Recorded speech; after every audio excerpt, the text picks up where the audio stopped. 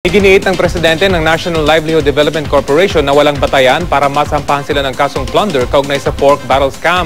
Wala umanong katotohanan ang paratang na may kickback silang 10% mula sa PIDAF na dumadaan sa kanila. Narito ang aking exclusive report. Piniling manahimik noon ng Pangulo ng National Livelihood Development Corporation o NLDC matapos madawit ang kanyang ahensya sa 10 billion peso pork barrel scam. Nakikipagtulungan naman daw kasi sila sa investigasyon ng NBI at nagsumiti pa ng bulto-bultong dokumento bilang ebidensya. Kaya naman laking gulat daw nila na pati sila pinakakasuhan ng plunder. 2008 pa lang daw kasi, sumulat na sila sa Department of Budget and Management o DBM para tanggalin sila sa listahan ng mga GOCC na tumatanggap ng PIDAF.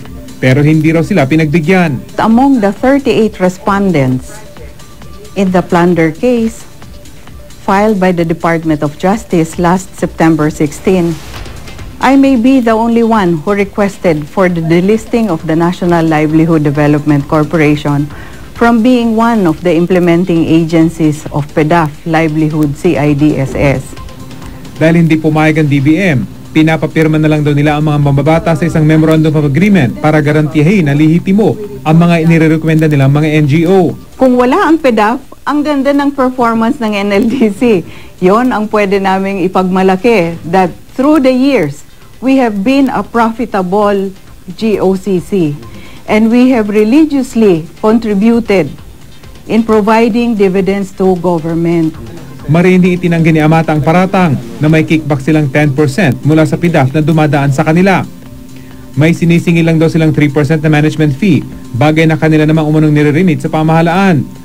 Para patunayang wala siyang natatanggap na kickback, I am waiving my legal my legal rights under the bank secrecy law and appropriate and any appropriate person can inspect my bank accounts at any time that they may wish to do so. kinumpirma naman ng Philippine Forest Corporation na may natanggap nga silang allocation mula sa PIDAF. Pero gate nila, na-implement daw nila ito ng maayos. Sa amin naman po, sa banda, sa aming side po, no, masasabi namin na nag-implement naman po ng maayos. Ang magpapatunay na naman po dito ay mga dokumento po. Ang magpapatunay po dito eh, yung mga compliances na gagawin po natin sa COA at soon ibibigay at isa, isusumite po natin sa COA.